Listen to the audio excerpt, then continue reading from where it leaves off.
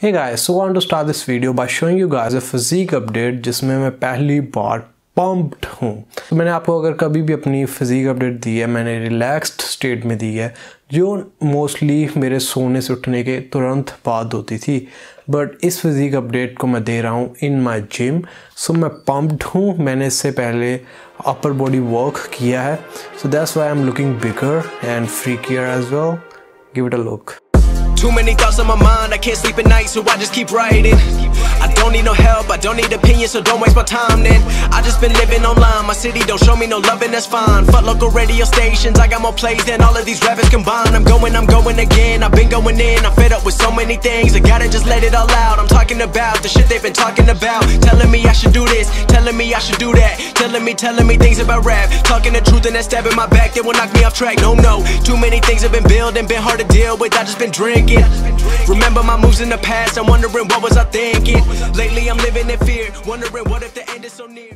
Even though मैं बहुत bigger and Fricker लग रहा हूँ, आपने नोटिस किया होगा कि मैं स्टिल लीन हूँ एंड मैं थर्ड वीक में हूँ अपने गेनिंग फेस के and I am really happy with my condition but maintaining this condition is not easy and मैं अभी उसके बारे में बात करना चाहता हूँ कि इस कंडीशन को मेंटेन करने के इश्यूज़ क्या हैं एंड इसके बेनिफिट्स क्या हैं।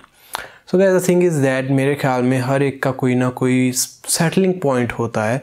एंड बॉडी को अगर हम उस सेटलिंग पॉइंट से ऊपर या नीचे पुश कर रहे हैं तो बॉडी वियर्डली बिहेव करेगी। मे बी एक बॉडी फैट परसेंटेज की रेंज होती है जहाँ बॉडी रहना बहुत पसंद करती है। सो so, अगर आप उस रेंज में होते हो तो आप थोड़ा बहुत वेट भी गेन कर लोगे इजिली थोड़ा बहुत वेट भी कम कर लोगे इजिली एंड बॉडी ज़्यादा वियर्डली बिहेव नहीं करेगी। Let's say for me that range is thirteen to 18 percent. सो अगर मैं 18 परसेंट से फैट लॉस स्टार्ट कर रहा हूँ सो थर्टीन परसेंट तक मैं आ जाऊँगा, तब तक मेरी बॉडी मुझे ज़्यादा वियर्डली बिहेव नहीं करेगी रेजिस्टेंस नहीं शो करेगी। जो वो weird science of hunger cravings हमें शो करने लगती है वो नहीं ज़्यादा शो करेगी। बट अगर मैं अपना जो मेरा लोअर सेटलिंग पॉइंट है थर्टीन है जो जिसको हम इमेजिन कर रहे हैं अगर मैं उसके नीचे जाऊँगा तो मेरी बॉडी मेरी हंगर इंक्रीज़ कर देगी लैथार्जी इंक्रीज़ कर देगी मेरी क्रेविंग्स इंक्रीज़ हो जाएँगी and stuff like that because मेरी बॉडी मेरी चाहती है कि ओके okay, तू ये सेटलिंग पॉइंट को क्रॉस मत कर. सिमिलरली अगर मैं अपने अपर बॉडी सेटलिंग पॉइंट को क्रॉस करने की कोशिश करूँगा मेरी बॉडी फिर थोड़ा बहुत रेजिस्टेंस शो करने लग जाएगी। अगर मैं एटीन परसेंट से ऊपर जा रहा हूँ तो मेरी बॉडी वियर्डली बिहेव करेगी मेरी हंगर कम हो जाएगी मेरा एपेटाइट ब्लंट हो जाएगा मेरी बॉडी नहीं चाहेगी कि मैं इस रेंज को क्रॉस करूँ। And it has happened to me when I was gaining जब मैं गेन कर रहा था मैं बहुत हाई बॉडी फैट परसेंटेज पे पहुँच जाता था सो मेरी बॉडी बहुत रेजिस्टेंस शो करती थी। मुझे ठूसना पड़ता था फ़ूड कि मेरे से वेट गेन करना बहुत डिफ़िकल्ट होता था।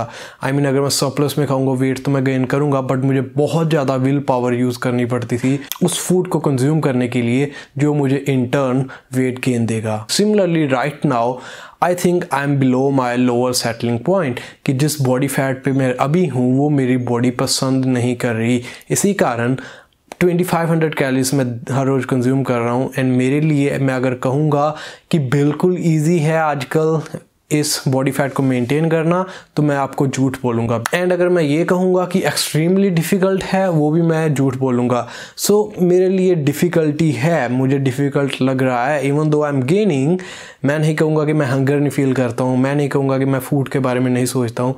सो so, वो चीज़ें अभी भी हैं एंड मुझे इसके बारे में थोड़ा बहुत आइडिया था।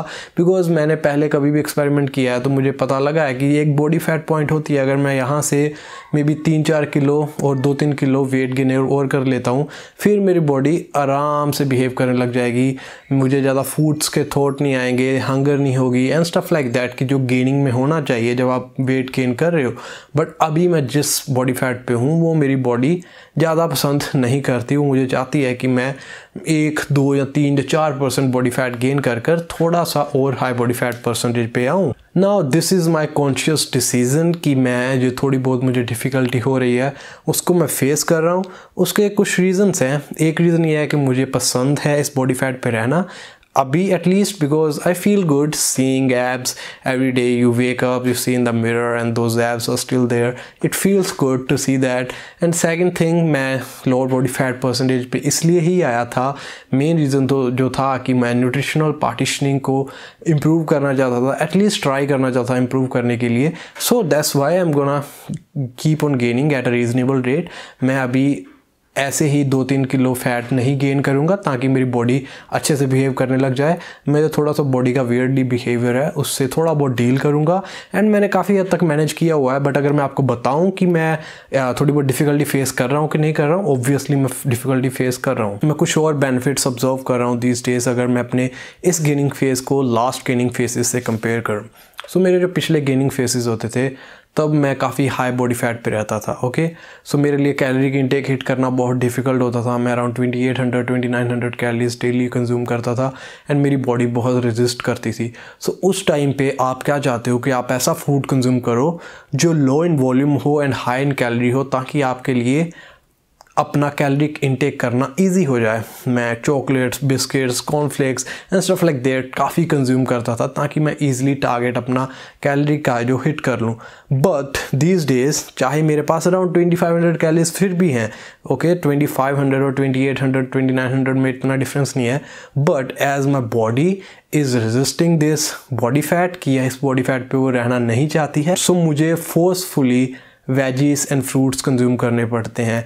मुझे हेल्दी खाना पड़ता है सो मैं माइक्रो न्यूट्रिएंट्स काफ़ी ले रहा हूँ and veggies and fruits daily basis पे ले रहा हूँ, जो मैं पहले नहीं लेता था। These were the advantages and the only disadvantages कि इस कंडीशन को मेंटेन करना डिफ़िकल्ट है। नॉट बहुत ज़्यादा डिफ़िकल्ट है बट हाँ डिफ़िकल्ट है। मैं इस कंडीशन को कैसे मेंटेन कर पा रहा हूँ कि मैं इस बॉडी के रेजिस्टेंस से कैसे डील कर पा रहा हूँ? सो so, मैं आपको ये अपनी जो स्ट्रैटेजीज मैं यूज़ कर रहा हूँ वो मैं आपको बताऊँगा। वेल well, फ़र्स्ट मैं अपना एक्टिविटी लेवल मेंटेन कर रहा हूँ। मैं around eight to ten K steps daily hit कर रहा हूँ। Second as I told you मैं veggies and fruits daily basis पे कंज्यूम कर रहा हूँ। High in volume low in calories moderate calories for fruits so ये भी बहुत सही है जो मुझे हेल्प कर रहा है to deal with hunger okay मेरा जो खाने का स्टाइल है वो मोस्टली मेरे कट जैसा है बस फ़ूड इंक्रीज़ हुआ है ओके okay? सो so, जब मैंने फ़र्स्ट डे गेनिंग स्टार्ट की थी आई लाइक ओके अब मैं तेईस सौ चौबीस सौ कैलरीज खा रहा हूँ अब तो मैं कुछ भी खाऊँगा मुझे कटिंग जैसे खाने की ज़रूरत नहीं है जैसे मैं कट कर रहा था अब वैसे मैं ना ही खाऊँ तो अच्छा है। सो so मैंने काफ़ी कॉर्नफ्लेक्स खाए and I was like man this is shit I messed up everything okay मैं कुछ टाइम बाद बहुत हंगर फील कर रहा था।